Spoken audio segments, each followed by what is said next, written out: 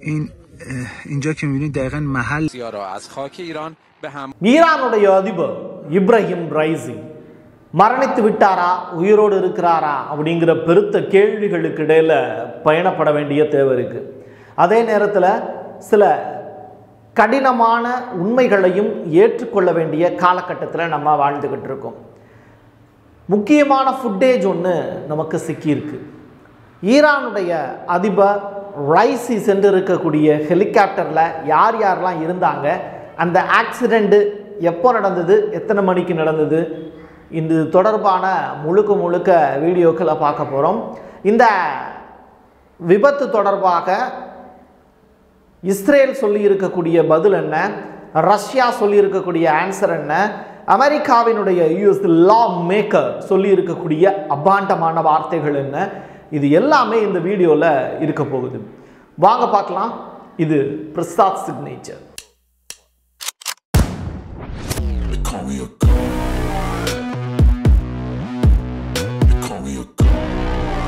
ஆயிரத்தி தொள்ளாயிரத்தி அறுபது டிசம்பர் மாதம் பதினான்காம் தேதி பிறந்தவர் தான் இப்ராஹிம் ரைசி. மிகச்சிறந்த ஒரு மதத்தை ஃபாலோ பண்ணக்கூடிய ஒரு நபராகவும் எப்பயுமே வந்து தனக்கான ஆடையையும் தனக்கான அடையாளத்தையும் பேணி பாதுகாக்கக்கூடிய வகையில் வாழ்ந்தவர் தான் இந்த இப்ராஹிம் ரைசி. ஃப்ராங்காக சொல்லணும்னா எனக்கு ரொம்ப ரொம்ப பிடிச்ச ஒரு வெளிநாட்டு அயலக தலைவர் அப்படின்னு சொல்லலாம். இவருடைய ஸ்பீச் ஆகட்டும் இவருடைய செயல்பாடாகட்டும் எல்லாமே ஈரானை அடுத்த கட்டத்துக்கு வளர்த்துட்டு போச்சு. கமினி அவர்கள் எப்படி ஒரு சிறந்த மதகுருவாக இருந்து ஈரானை வழி நடத்துகிறாரோ ஆக்சிஸ் ஆஃப் ரெசிஸ்டன்ஸுங்கிற வார்த்தை எப்படி செயல்படுத்திக்கிட்டு இருக்காரோ அதற்கு பக்க துணையாக இருக்கக்கூடியவர் தான் இப்ராஹிம் ரைசி இவருக்கு துணையாக இருக்கக்கூடிய ஒரு ஃபாரின் மினிஸ்டர் அக்ரஸிவான ஒரு ஆள் உசைன் அந்த நபரும் இந்த ஹெலிகாப்டரில் இவரோட சேர்ந்து ட்ராவல் பண்ணியிருக்காரு அப்படின்னு சொல்கிறாங்க ஈரானுடைய ஸ்டேட் டிவி ஃபஸ்ட் எடுத்த உடனே இந்த மூன்று ஹெலிகாப்டர்கள் இவருங்க கூட சேர்ந்து போச்சு அப்படிங்கிறத ஃபஸ்ட்டு நியூஸாக வெளியிட்டாங்க. இது எங்கே போச்சு ஃபஸ்ட்டு அப்படின்னு சொல்லி பார்க்கும்போது அஜர்பைஜான் துருக்கிக்கு பக்கத்தில் இருக்கக்கூடிய ஒரு நாடு. இந்த அஜர்பைஜான் ரஷ்யாவோட இப்போ நெருங்கிய உறவில் இருக்கக்கூடிய ஒரு நாடு. அஜர்பைஜானில் இருக்கக்கூடிய பிரச்சனைகள்லாம் இப்போ தான் முடிவுக்கு வந்து ரஷ்யா அந்த பஞ்சாயத்தெல்லாம் தீர்த்து வச்சுச்சு.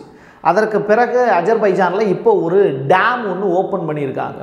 இந்த ஓப்பன் செய்யப்பட்ட அந்த டேமை வந்து யார் திறந்து வச்சாங்க அப்படின்னா இப்ராஹிம் ரைசி அதை அந்த டேமை ஓப்பன் பண்ணி வச்சுட்டு அவர் திரும்பி வரக்கூடிய ஈரானுக்கு திரும்பி வரக்கூடிய வழியில் தான் இந்த ஆக்சிடெண்ட்டு நடந்திருக்கு அப்படின்னு சொல்கிறாங்க முதல்ல கார் வழியாக அவர் வந்ததாக சொன்னாங்க. அதற்கு பிறகு இல்லை இல்லை அவர் ஹெலிகாப்டரில் தான் போனார் அப்படிங்கிறத உறுதிப்படுத்தினாங்க.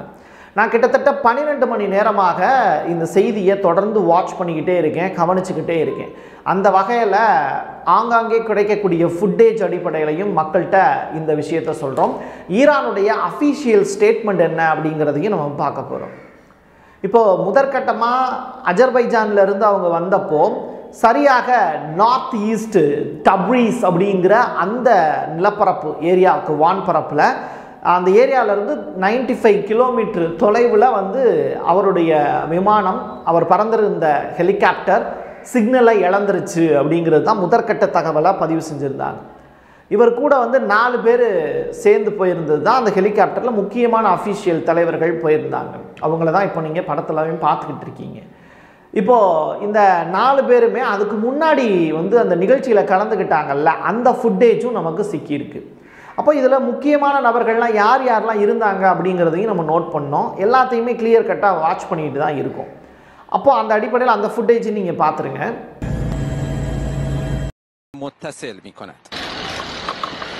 ஈரானுடைய அதிபர் ரைசியோட போனவங்க வந்து ஒன்று ஃபாரின் மினிஸ்டர் உசைன் இன்னொருத்தர் வந்து பார்த்தீங்கன்னா அப்துல்லா ஹியன் அப்படிங்கிற நபர். அவரோட சேர்த்து இன்னொரு கூட வந்து ஈரானுடைய முக்கியமான தலைவர் ஒருத்தர் ட்ராவல் பண்ணியிருக்காரு அப்படிங்கிறது. இவங்க இந்த நாலு பேருமே அந்த ஹெலிகாப்டரில் ட்ராவல் பண்ணி அன்வான்ட் அப்படிங்கிற மாதிரியான ஃபீல் வந்து எல்லாருக்குமே இருக்குது இப்படிப்பட்ட ஒரு நெருக்கடியான ஒரு சூழ்நிலையில் அவர் எதற்காக அங்கே போயிருக்காரு அப்படிங்கிற மாதிரியான ஒரு கேள்விகள் ஈரானில் மட்டும் கிடையாது உலகம் முழுவதும் வாழக்கூடிய இஸ்லாமிய சகோதரர்கள் இன்றைக்கி ப்ரே பண்ணிக்கிட்டு இருக்காங்க. அவர் உயிரோடு வந்துடணும் அப்படின்னு. ஆனால் கசப்பான உண்மைகள் இப்போது ஈரான் சைட்லேருந்து வெளியாகிருக்கு அது என்ன அப்படின்னா ஈரானுடைய state TV Red Crescent Society அவங்க வந்து நேரடியாக போய் அந்த ஆய்வு பண்ணுறதுக்காக போகிறாங்க இது நடந்துக்கிட்டே இருக்கும்போது ரஷ்யாவினுடைய அதிபர் புட்டின் வந்து ஒரு ஸ்டேட்மெண்ட் கொடுக்குறார். இந்த காணாமல் போன அந்த ஹெலிகாப்டரை கண்டுபிடிச்சி தர்றதுக்கு நாங்களும் உதவி செய்கிறதுக்கு தயாராக இருக்கிறோங்கிற ஸ்டேட்மெண்ட்டை பதிவு செய்கிறாங்க மூணு ஹெலிகாப்டர் அவங்க கூட சேர்ந்து போனது. அதில் ஒரு ஹெலிகாப்டர் தான் ஆக்சிடெண்ட் ஆனதாக சொல்கிறாங்க மீதி இருக்கக்கூடிய ரெண்டு ஹெலிகாப்டரும் ஈரானுக்கே திரும்பி போயிடுச்சு. திரும்பி போன நேரத்தை கனெக்ட் பண்ணும்போது தான் எங்கே அந்த விமா அந்த ஹெலிகாப்டர் எங்கே அப்படின்னு சொல்லிட்டு வாட்ச் பண்ணுறாங்க அது சிக்னலே இல்லை. அப்போது அது எங்கே அது லாஸ்ட்டாக அதோட சிக்னல் மறைஞ்ச இடத்தையும் நம்ம இப்போ பார்த்தோம். கடைசியாக இப்போ வெளியாக இருக்கக்கூடிய அறிவிப்பு அப்படிங்கிறது டைரக்டாக அது எந்த இடத்துல போய் ஆக்சிடெண்ட் ஆகிருக்கு அப்படின்னு சொல்லி பார்க்கும்போது செங்குத்தான ஒரு மலையில் போய் முட்டி அது கீழே விழுந்துருச்சு அப்படிங்கிறது தான் ரிப்போர்ட்டாக ஃபைல் ஆகிருக்கு மரங்கள் நிறைந்த மலைப்பகுதிக்கு நடுவில் வந்து இந்த விபத்து நடந்திருக்கு அப்படிங்கிறத ரிப்போர்ட்டாக ஃபைல் பண்ணியிருக்காங்க ரெக்ரசண்ட்டு அது மட்டும் கிடையாது உடைந்த பாகங்களுடைய காட்சிகளையும் உங்களால் பார்க்க முடியும். தொடர்ந்து நம்ம அதை இப்போது பார்த்துக்கிட்டு இருக்கோம். அந்த உடைந்த பாகங்களுடைய காட்சிகளை எடுத்திருக்காங்க. அது மட்டும் இல்லை அந்த ஹெலிகாப்டரில் பயணித்தவர்களுடைய உடல்கள் இன்னும் கிடைச்சதா உறுதிப்படுத்தலை. அதே நேரத்தில் அவர்கள் உயிரோடு இருப்பதற்கான வாய்ப்புகள் இல்லை அப்படிங்கிறதும் ஈரானுடைய ஸ்டேட் டிவி இப்போ அனௌன்ஸ்மெண்ட்டை கொடுத்துட்டாங்க. ஸோ இப்ராஹிம் ரைஸியும் ஃபாரின் மினிஸ்டர் உசைன் அவர்களும் உயிரோடு இருக்க வாய்ப்பில்லை அப்படின்னு ஈரானுடைய ஸ்டேட் டிவி டிக்ளேர் பண்ணியிருக்காங்க. இது ரொம்ப ரொம்ப வருந்தத்தக்க செய்தி. அந்த நாட்டில் படிப்படியாக உயரக்கூடிய ஒரு வாய்ப்பு வந்து இப்ராஹிம் ரைசிக்கு கிடைச்சது. ஒரு தலைமை நீதிபதியாக ஈரானை வழி நடத்தினவர் தான் இப்ராஹிம் ரைசி. நல்லா படித்தவர் பட்டதாரி. அந்த நாட்டு மக்களுக்கு தேவையான எல்லா விதமான சோர்ஸையும் உருவாக்கி கொடுத்தவர். அமெரிக்காவை எதிர்த்து வார்த்தைகள் பேசுகிறதுக்குன்னு ஒரு தைரியம் இருக்கணும்ல. அந்த தைரியம் இப்ராஹிம் ரைசிட்ட இருந்தது.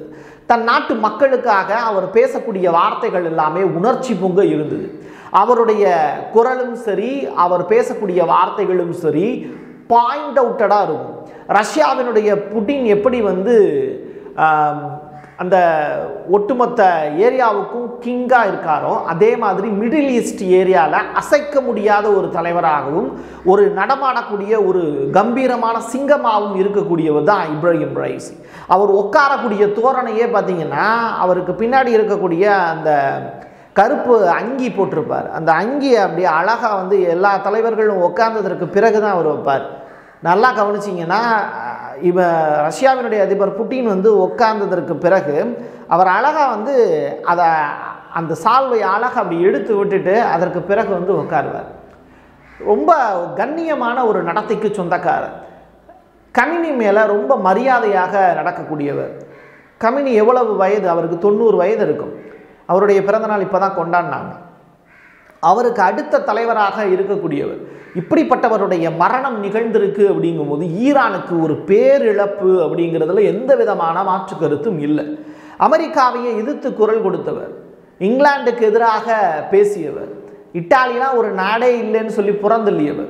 ஜெர்மனா ஓடி போங்கடா அப்படின்னு சொன்னவர்.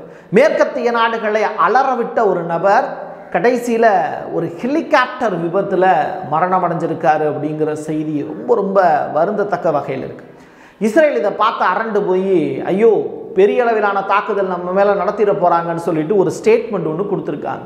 அந்த ஸ்டேட்மெண்ட் என்ன அப்படின்னா இந்த நடந்த விபத்துக்கும் இஸ்ரேலுக்கும் எந்த விதமான தொடர்பும் கிடையாது அப்படிங்கிறத சொல்லியிருக்காங்க. ஏன்னா ஈரான் வந்து மறைமுகமாக ஹவுதிகளுக்கு ஆயுதங்கள் கொடுத்து உதவுறதாகவும் ஹிஸ்புல்லாவை வளர்த்து விடுவதாகவும் ஹவாஸுக்கும் ஆயுதங்கள் கொடுத்து அவங்க தான் சண்டை போட வைக்கிறாங்க அப்படிங்கிற மாதிரியான தகவல்களும் பரவிக்கிட்டு இருக்கு.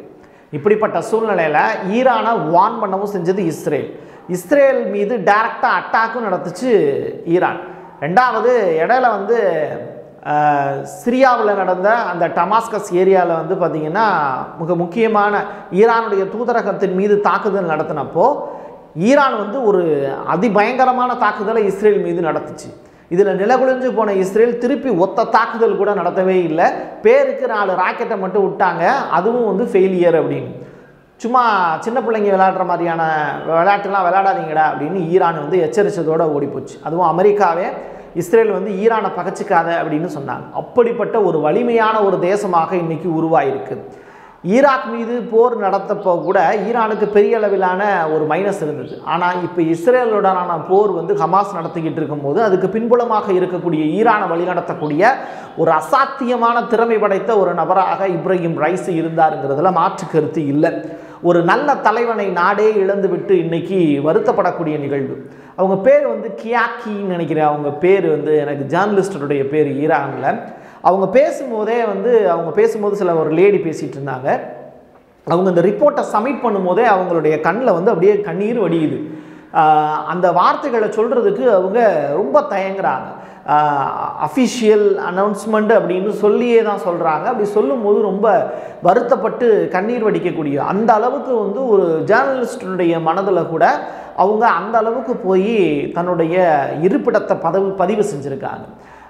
தனது மக்களிடத்தில் அவ்வளோ தூரம் பாசமாக இருந்திருக்காரு ரைசி. அது மட்டும் கிடையாது. இந்த மாதிரி அப்துல்லா ஹுசைன் மாதிரியான நபர்களை வந்து பெரிய அளவில் வளர்த்து விட்டவர். இன்றைக்கி அப்துல்லா ஹுசைன் தான் வந்து தொடர்ந்து வந்து பார்த்திங்கன்னா கத்தாருக்கு போயிருந்தார் சவுதி அரேபியா போயிருந்தார் எகிப்து போயிருந்தார். எல்லா நாடுகளுக்கும் போய் இந்த இஸ்ரேல் பாலஸ்தீன் பஞ்சாயத்தை முடிவுக்கு கொண்டு வர்றதில் இந்த ஃபாரின் மினிஸ்டர் ஈரானுடைய ஃபாரின் மினிஸ்டர் அவ்வளவு தூரம் மெனக்கட்டார். அப்படிப்பட்டவர் இந்த பனி மூடிய ஒரு இடத்துல போய் முட்டி அந்த இடத்துல வந்து ஹெலிகாப்டர் விபத்துக்குள்ளாக இருக்குது அப்படிங்கிற ரிப்போர்ட்டை வந்து யாராலையும் ஏற்றுக்கவே முடியல. இப்படிப்பட்ட ஒரு நிகழ்வு நடந்திருக்கு அமெரிக்கா வந்து அதுக்காக வருத்தம் தெரிவிச்சிருக்கான்னு கேட்டால் அமெரிக்காவில் ரிக் ஸ்காட் அப்படிங்கிற ஒரு நபர் இவர் யாருன்னா குடியரசுக் கட்சியை சேர்ந்தவர் ஃப்ளோரிடாவினுடைய ஆளுநராக பதவி வகித்தவர். வழக்கறிஞராக இருந்திருக்காரு தொழிலதிபர் சிறந்த அரசியல்வாதின்னு அறியப்படக்கூடிய நபர் ஒரு நாட்டினுடைய தலைவர் இறந்து போனப்போ அதுக்கு வருத்தம் தெரிவிக்க வேண்டாமா? அவர் என்ன தெரியுமா சொல்லியிருக்காரு? எரியிற நெருப்பில் எண்ணெயை தூக்கி ஊத்துற மாதிரி சில ஸ்டேட்மெண்ட்டை பதிவு செஞ்சுருக்கார். அவர் வந்து ஒரு டெரரிஸ்ட் இறந்து போனதுனால யாரும் வருத்தப்பட தேவையில்லை. இது வந்து ஒரு நல்ல விஷயம்தான் அப்படிங்கிற ஒரு வார்த்தையை பதிவு செஞ்சுருக்கார். இதை பிரசாத் சிக்னேச்சர் உண்மையிலேயே வன்மையாக கண்டிக்கிறது. எப்படி வந்து ஒரு தலைவர் இறந்ததை இவ்வளவு தூரம் வன்மமாக ஒரு வார்த்தைகளாக பதிவு செய்ய முடியும் அப்படிங்கிற கேள்வியும் நம்ம எழுப்ப வேண்டிய தேவை இருக்குது அது மட்டும் கிடையாது. யுஎஸ்னுடைய இன்னொரு லா மேக்கரும் இதே ஸ்டேட்மெண்ட்டை பதிவு செஞ்சுருக்காங்க. ஸோ அமெரிக்காவினுடைய இந்த செயல்பாடுகள் அப்படிங்கிறது அந்த நாட்டினுடைய அதிபர் அதை கண்டிக்கணும்.